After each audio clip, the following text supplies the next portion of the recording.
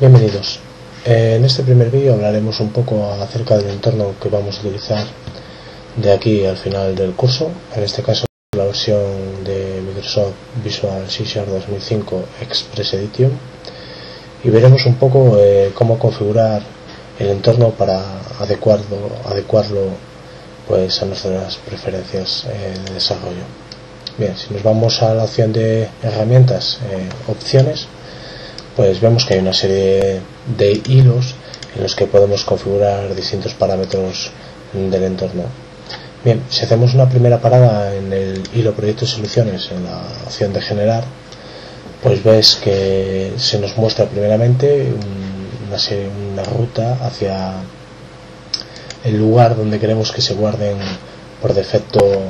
los proyectos creados en Visual Studio 2005 Express Edition. Por defecto se crean en el path mis documentos eh, Visual Studio 2005 Projects y lo mismo para eh, la creación de plantillas de proyecto y de elementos de usuario. Bien, aquí podemos hacer clic en el botón y seleccionar pues, eh, pues eso, la ruta donde queremos que se alojen los proyectos eh, nuevos que son creados. Otra de las opciones que podemos chequear o cliquear en esta parte de las opciones de configuración, pues como veis es la de guardar nuevos proyectos eh, al crearlos. Bien, cuando creas un nuevo proyecto en el entorno, por defecto este no es guardado hasta que, pues bien, se hace un close de la aplicación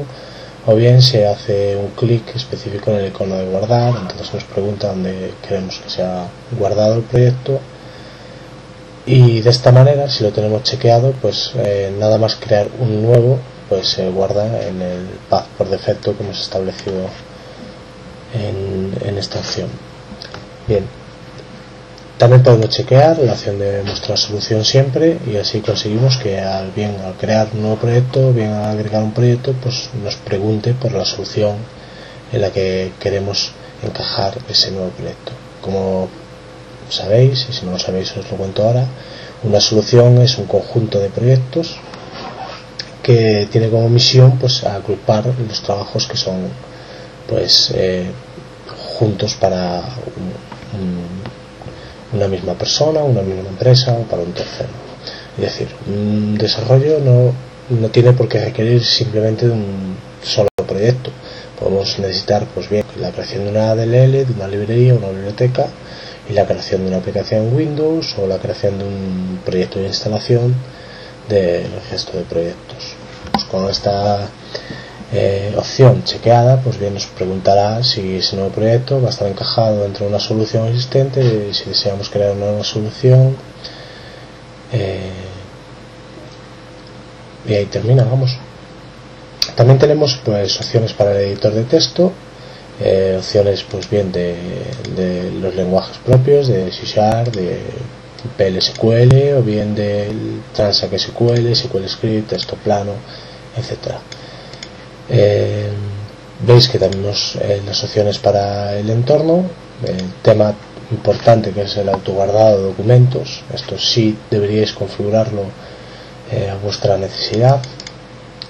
por ejemplo, en, este, en esta ocasión pues decimos que tiene que guardar la información de autoguardado de operación pues cada dos minutos y que esta información debe ser válida pues los días que marquemos, X días. En este caso ponemos dos. ¿Qué conseguimos con esto? Bueno, si por ejemplo estamos eh, creando una aplicación de Windows Forms y por una mm, no deseable desgracia pues se va a la luz eh, del ordenador que estamos desarrollando, pues bien, con esto nos garantizamos que lo único que perdemos es como mucho eh, el trabajo que hemos realizado durante los dos últimos minutos. Bien, también podemos especificar el tema de fuentes y colores para eh, texto programado, es decir, pues nosotros queremos que cuando estamos programando la cadena se ponga en este color medio granate, bien que los atributos XML aparezcan en un verde, por ejemplo, podemos especificar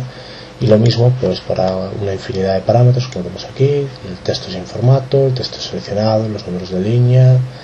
los comentarios XML de la documentación de los proyectos, eh, los delimitadores XML y demás. Bien, eh, como veis hay muchas otras opciones para el diseñador de Wonderform si queremos especificar por defecto el modo de estilo de trabajo que queremos o el tamaño de los grids eh, si queremos por defecto generación de código automatizada para las opciones de depuración también tenemos eh, muchas opciones para chequear o para quitar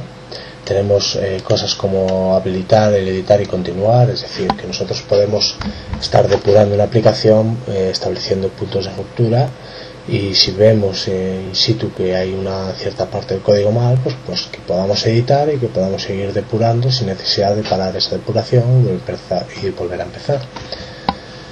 Bien, con esto hemos terminado la primera parte del vídeo. En la siguiente parte del vídeo pues eh, hablaremos un poco más de las posibles soluciones que se pueden crear en el entorno, soluciones de consola, soluciones de Windows Forms, proyectos eh, vacíos, bibliotecas y seguidamente veremos ya una entrada al lenguaje de C Sharp y, haremos pues eh, algo más mm, digamos orientado a lo que es programación en este lenguaje